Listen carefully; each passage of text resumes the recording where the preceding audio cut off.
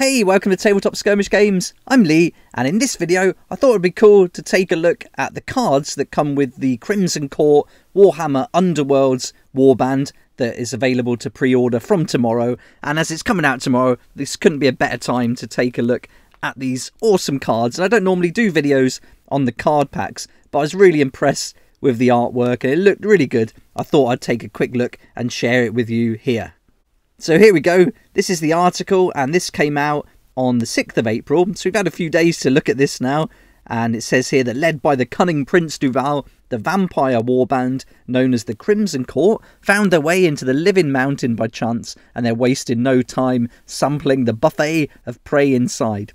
With both physical and magical power at their fingertips, the vampires are hell bent on making Direchasm their newest and greatest hunting ground. And here's the miniatures. We've seen these a lot now. I've done a few videos on them, and so you can check that out. And I recently did a video where I looked at some of the Legions of Nagash fighter cards for Warcry and paired it up with these miniatures to make a little Warcry warband. So that's up on the channel too. But this video is all about the cards, so let's take a look at them in detail now. And it says here, while control of their hunger brings special abilities and is required for inspiration, the savage bloodlust that takes over should their thirst run rampant, comes with its own benefits too. After all, a burst of murderous fury might be just what you need to crack open the walking bags of blood we call mortals. And so here's the fighter cards for Prince Duvalle, and we've got the the regular and the inspired. And so these look great. I'm not going to go and read through them or anything like that. I'll wait till we get the actual set and do that with the miniatures built because I think that's better. But just want to look at the artwork and the layout. I really like it. The faction rune mark is great, and I like the the artwork they've done representing the fighters. Really good. And here's Gorath the Enforcer. This guy looks awesome. He looks like a beast. Great miniature and really interesting stats on the card. Then we've got Vellas von Faine, and this is the one I used as a leader for my Warcry Warband. I thought it suited it and looked quite good. So that's that one. And then finally, we've got Ennias Curseborn. This guy's got the wings, so imagine he's going to have some kind of ability that helps him fly around and get some extra distance. So that's the fighter cards, and then it says here, as the most savage and impulsive of the warband, Ennias takes flight while inspired and can soar across enemy fighters and dangerous terrain alike.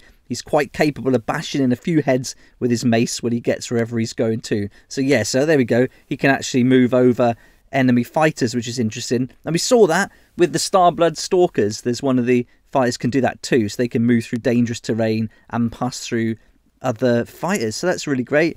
And now we come on to the cards, and it says here that being an aggressive bunch of fighters, the Crimson Court has several objectives that take advantage of their overwhelming power. Best of all, with cards like Blood Curse, you're rewarded for either killing a whole bunch of enemies or protecting your own fighters. And so here we go. Here's the first objective card, Blood Curse. Again, the artwork's looking awesome. He's got one of the Dread pageant there, holding her up by the neck. And then we've got the Enforcer's Cloak. And now we start getting to some really nice ones, really nice pictures now and illustrations here. Driven to Hunt. And so they've picked out a few of the different ones, and now we get to see all of them. So it's pretty cool that they do this on the Warhammer community site. You get to see all the cards so you can have a real good look. I'll put a link down in the description below if you want to go and check this out and read through the cards yourself. But this one on the top right, the Bestial Transformation, that's a great image. And I really like all of these. Looking at them all laid out like this, I think these are definitely going to be my favourite card pack visually, you know, looking at them. So that's really good. There's another one down the bottom here, Tenebrous Form. That looks really interesting. So as an overall kind of pack, these look so great. Glutton for Gore, that looks awesome. He's just got a mouthful of blood and guts or whatever. So that's crazy. And so they're really action poses as well, really looking good. And now we've got the objective cards. Nice. On the chase looks great, where he's flying through the air there. And recovered poise, just wiping his mouth after he's had a little feast. So they're really great.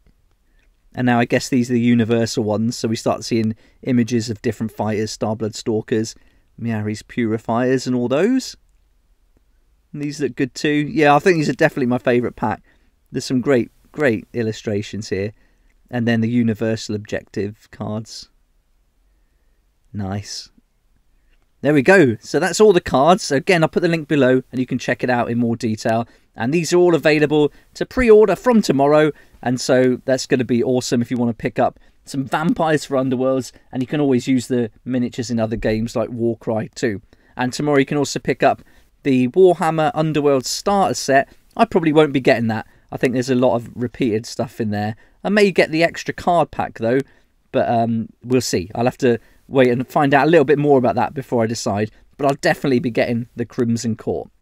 I'll put a link in the description below to Element Games, and so you'll be able to save up to 20% there. So I think the RRP on these is going to be 25, but if you follow the link, you should get a great saving, and that'll be an affiliate link, but it won't cost you anything extra. In fact, you're going to save that money, and for every sale made through an affiliate link, I get a small commission. That's going to help me do loads more videos like this. So thanks so much for that support. I really appreciate it.